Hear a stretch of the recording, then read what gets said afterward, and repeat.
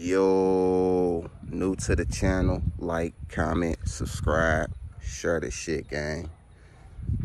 Breaking motherfucking news. So, word around the campfire is Cdai, Mr. 22 Shots will be free within the next few months. Now, we didn't heard this news before, okay? Primary source is Cdai itself. He was on a jail call. He said his 40-year sentence has been overturned. He will be free in a few months. So, I don't know. He sounded kind of excited. But this one might, it might be true this time. We know we done heard this a lot of times. So, I don't know, gang. It, Cdai back in the drill coach. What y'all think about that? And you know, Cdai was on Dame at times. Cdai is real six the real six, one of the real six O's. So, and I can almost guarantee you, watch he get out and folk be like, Tay 600 then snit. Like he go be fucking with Tay 600. I got a feeling. If he do run over there to smirking them side, it's gonna be because he needs some quick cash. But I don't think he feeling the way his brother got did and they ain't ride for him. They did not get get back for E-Day gang. So I don't know. Well, I know why, because the real six is locked up and dead. So the niggas that was go get back probably went ain't even on good terms with Cdai, but that's your home. You supposed to ride regardless. We all know this, but everybody ain't real and everybody ain't on Damon time. But Cdai, he ain't the heart, he ain't the brain. Cdai is like the muscle. That's what we go put Cdai. Cdai is like the muscle of the, of the real 600. So we all know what he, you know, like, yeah. but he said thanks to, I think her name was Kim. I know her first name Kim. I don't know if it was Porter or whatever the fuck. That's Diddy uh, ex-wife. I'm thinking of Kim. Her name Kim, though.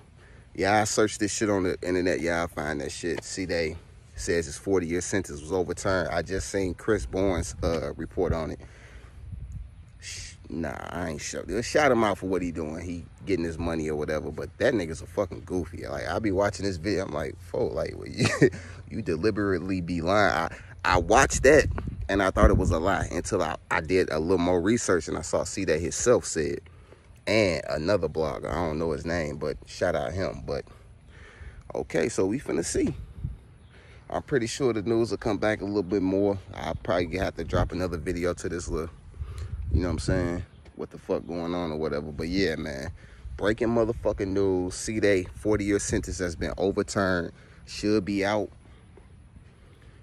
from what he say by September, October. So we go see. Even if it is overturned, I still think he gonna be in there probably another year or damn near a year. But I hope not. I hope he do get out the motherfucking jam. And, and, and 600 get get back strong because they looking weak. They looking like the weakest out the culture right now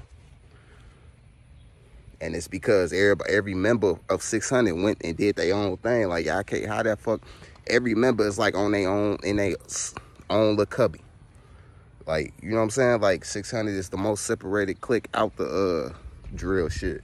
So hey, no word on Rondo number nine. Now Rondo is who. That's what's so crazy. I thought Rondo was gonna be the one who get his sentence overturned and be able to get out or whatever, but. it's looking like it was Cdai. I guess probably because they put it all, I don't know. I don't know how he did that with a public defender because Rondo is the one with the lawyer and everything. So I don't know what the fuck going on for. Like, if this even true. Like, so. We finna see, gang. That's all I can say to tell y'all right now. A little later on, I'm gonna drop, I'll get a little more information and drop another part to this. But jump in that comment box, man. Y'all let me know how y'all feel about Cdai 22 shots. 40 year sentence getting overturned, gang. Like, yeah. Cdai coming home. Gang.